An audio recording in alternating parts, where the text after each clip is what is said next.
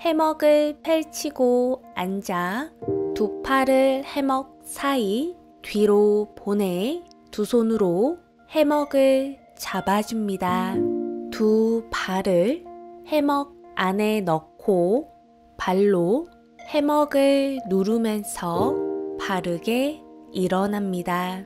오른 발을 해먹 앞으로 보내고 왼발을 왼쪽으로 밀어내 해먹 위에 앉아줍니다.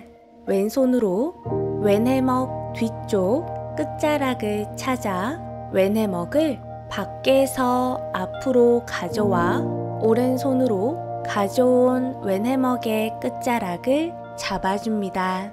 왼손을 해먹 뒤로 가져와 왼손으로 왼 해먹 끝자락과 오른 해먹을 같이 잡아줍니다.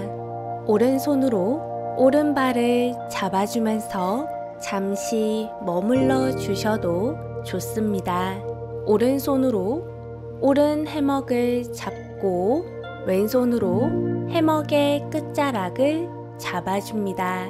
오른 다리를 들어 올려 왼손으로 펼친 해먹 뒤에서 앞으로 오른 발을 넣어줍니다. 두 손으로 오른 해먹을 잡고 왼다리를 들어 올려 해먹 사이 뒤에서 앞으로 보내 오른 해먹에 왼발을 걸어줍니다. 두 다리를 길게 뻗어내 상체를 뒤로 누워 나비 커튼을 만들어줍니다. 자세에서 빠져나올 때에는 두 손으로 오른 해먹을 잡아줍니다.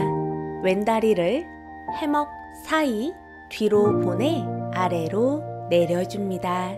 오른 다리를 해먹 밖으로 빼주고 오른 발을 왼발이 있는 해먹 안에 넣어주면서 해먹에 앉아 파스치모타나 자세에서 마무리합니다.